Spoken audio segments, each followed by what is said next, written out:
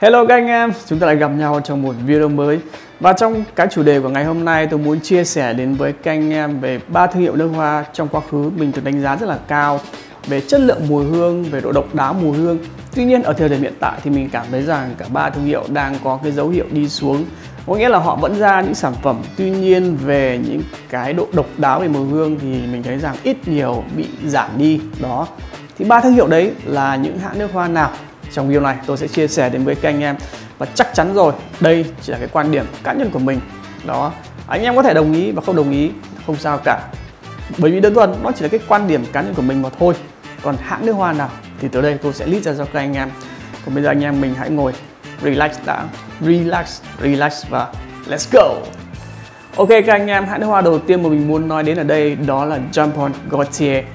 Nhắc đến nhà nước hoa này thì mình nghĩ rằng đa phần các anh em sẽ đều thấy là họ có một cái thiên hướng làm mùi rất là thường là đậm, ngọt và unisex.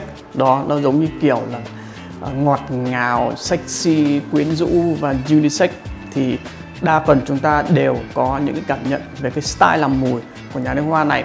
Và trong quá khứ nếu như anh em nào có một cái khoảng thời gian chơi đã lâu thì chúng ta đều không lạ gì những sản phẩm rất là đình đám của họ đó là ví dụ như ở đây đó là Leme uh, ờ, Fladume Leme thì chúng ta đều đã biết quá rõ rồi bởi vì chai nước hoa này hiện nay thì vẫn còn được bán trên thị trường. Một mùi barbershop kinh điển. Fladume một mùi hoa neroli có thể gọi rằng rất rất rất rất là độc đáo. Thậm chí đến bây giờ nó đã bị ngưng sản xuất ở độ khoảng đâu lâu lâu rồi đấy. Cũng phải tầm 7 8 năm rồi. Mình nhớ là như thế nhưng đến hiện tại cũng chưa có một nhà nước hoa nào có một cái phong cách mùi giống như cái mùi hương của Fladume hoặc là Jean Paul Gaultier, Superman một mùi hương bạc hà và vani và cây xô thơm rất là độc đáo mình đánh giá rằng đây là một chai nước hoa bạc hà, một trong những chai nước hoa bạc hà có thể gọi là nó giống như kiểu là tiêu chuẩn, là hình mẫu ấy.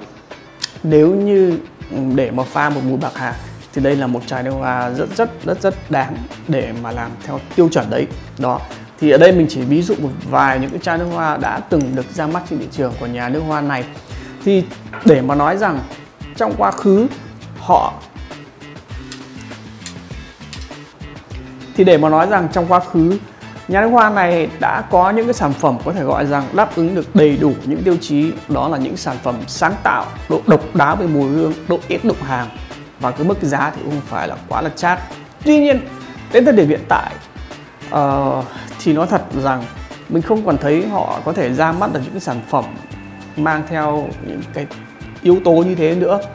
Uh, bắt đầu từ sau khi có Antrame thì họ bắt đầu là một loạt những cái chai nước hoa. Nó không phải là tệ thế nhưng nó cũng không còn là xuất sắc.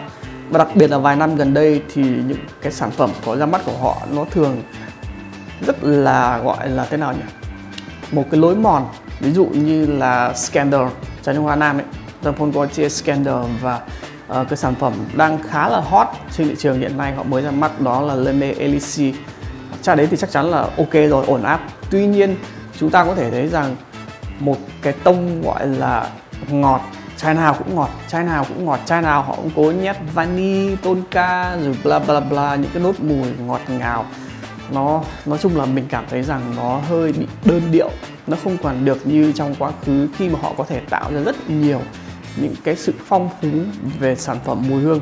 Nhưng hiện tại thì chỉ có xoay quay lại mấy cái chai mùi ngọt từ Antrame, Le Mele Parfum, uh, uh, ờ, Le Mele Elise đó vân vân vân vân. Thì mình cảm thấy rằng là họ đang làm cho mình không còn được cái sự tò mò không còn cái sự chú ý nữa. Bởi vì quay còn lại cũng chỉ là những cái tông mùi ngọt mà thôi không có cái sự sáng tạo nào hơn. Do vậy à, uh, chàng nhà nước hoa đầu tiên mình muốn list ra đây đó là Jean Paul Gaultier. Nhà nước hoa thứ hai đó là Mason Francis Kurkdjian nhắc đến uh, perfumer này thì với cái cảm nhận của mình những cái sản phẩm mà mình đã từng trải nghiệm qua thì mình đánh giá Kurkdjian rất là mạnh ở những cái những cái mùi hương đậm ngọt và một cái gì đấy nó rất rất rất rất là ít đụng hàng có thể là cùng là một những cái đốt nguyên liệu ví dụ như là lơ mê chẳng hạn oải hương vani nhưng ông đã tạo nên một cái mùi barbershop gọi là như báo chí vẫn nói là sau một đêm ông ấy đã được uh, ờ, lên đỉnh Olympia. Giống như kiểu là một bước lên đến đỉnh Olympia sự thành công quá lớn. Hoặc là Fladume hoặc là Baccarat Rouge năm 40 đó thì mình thấy rằng ông này ông ấy rất là mạnh về những cái tông mùi đậm ngọt và có thiên nướng unisex. À, như một, như một số sản phẩm mình vừa lý ra của chơi trước thậm chí là nhà MFK này trước thì họ có ví dụ như Oud Satin Mood, uh, ờ, MFK Oud, uh, Grand Soir rất là hay. Một mùi amber vanilla rất là hay dậy thơm đó. Có thể gọi rằng đấy là những cái sản phẩm xuất sắc. Tuy nhiên đến hiện nay thì mình để ý một vài năm về đây thì họ đã không còn duy trì được cái sự ờ, độc đáo về mùi hương cá nhân mình ấy. Bởi vì mình thấy rằng họ bắt đầu có thiên hướng chuyển sang làm những cái chai ví dụ như là như vừa rồi cái chai tiêu biểu là 724 MFK 724 uh, giống dạng như kiểu là clean and fresh. Đó họ bắt đầu có xu hướng là làm những cái mùi dạng như kiểu sạch sẽ nhẹ nhàng aqua hoặc là 724 đấy thì những cái sản phẩm đấy nó không tệ.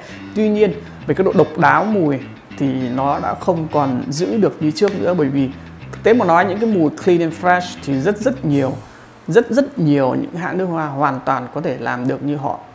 Và tất nhiên rồi, cái mức giá nó rẻ hơn rất là nhiều. Trong khi nếu như so với ví dụ như Oud Satin Baccarat Rouge 540 hoặc là Grand Soir thì nó là giống như kiểu là một cái để tiêu chuẩn cho cho những cái hãng khác làm chứ không phải là um, trừ những chai cologne nhé đó. Còn ví dụ như 724 hoặc là một số chai gần đây mình thấy rằng họ làm kiểu dạng mùi nó nhẹ nhàng và mình không cho rằng đấy là một cái thế mạnh của nhà MFK bởi vì ví dụ như bản thân một cái chai nước hoa ít tên tuổi rất là nhiều. Ví dụ uh, hay của nhà Anfesung nó cũng rất là nó nó cũng có cái phong cách giống như kiểu 724 thì có nghĩa rằng có rất rất nhiều rất rất nhiều những chai nước hoa có thể làm một cái chất lượng tương tự như 724 đó. Chứ không phải là như 540 hoặc là Grand soa thì nó thật là rất không được nhiều.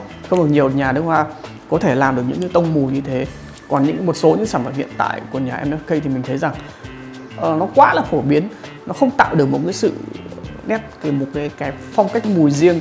Thì mình thấy rằng đây cũng là một cái vấn đề khá là lo ngại đó. Mình không biết có phải là do Kochan hiện nay do đã bị uh, do đã được chỉ định làm giám đốc sáng tạo cho nhà Dior nên có thể là ông đang hơi bị gọi là phân tán không được tập trung toàn ý cho thương hiệu riêng của ông. À, nếu mà hy vọng rằng là những cái sản phẩm tới đây nhà MFK sẽ có lại những cái cú hit đình đám như là trước. Đó thì nhà nước hoa thứ hai đó là Mason Francis Culture và nhà nước hoa thứ ba mình muốn nói lên đây đó là Tom Ford có thể là các anh em đang hết sức là ngạc nhiên và thậm chí là có thể đang what the fuck? Thì các anh em cứ bình tĩnh. Thì vì mình đã nói rồi đây chỉ là cái quan điểm cá nhân của mình mà thôi.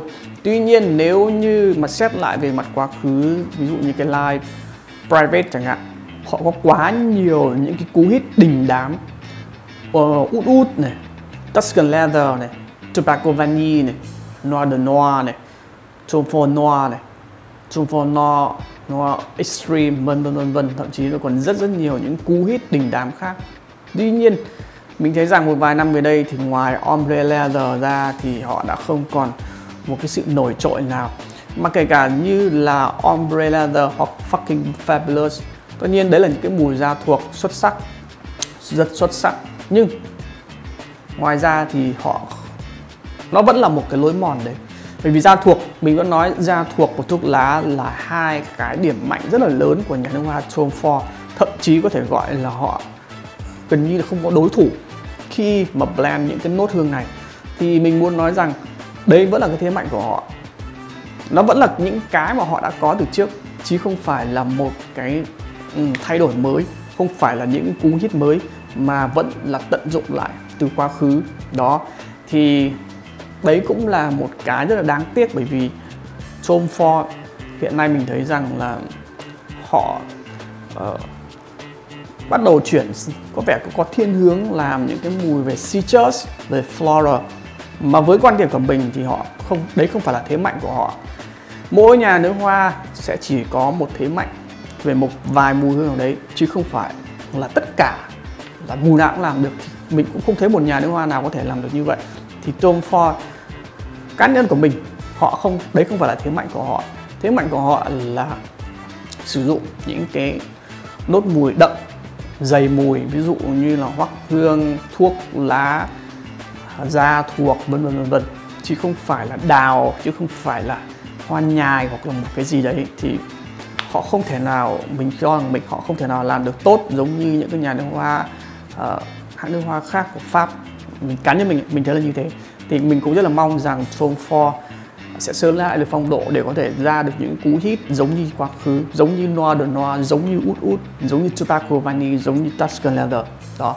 Thì thương hiệu thứ ba Tom Ford thì vừa xong tôi vừa chia sẻ đến với các anh em ba thương hiệu nước hoa mà mình thấy rằng đang có cái dấu hiệu đi xuống. Đó là Tom Ford đó là ờ, uh, Jean Paul Gaultier đó là ờ, uh, Mason Francis Kurkdjian tất nhiên đây là quan điểm cá nhân của mình và rất hy vọng rằng các anh em cảm thấy thích video này. À, và chúng ta sẽ còn gặp lại trong những video tiếp theo. Bye bye.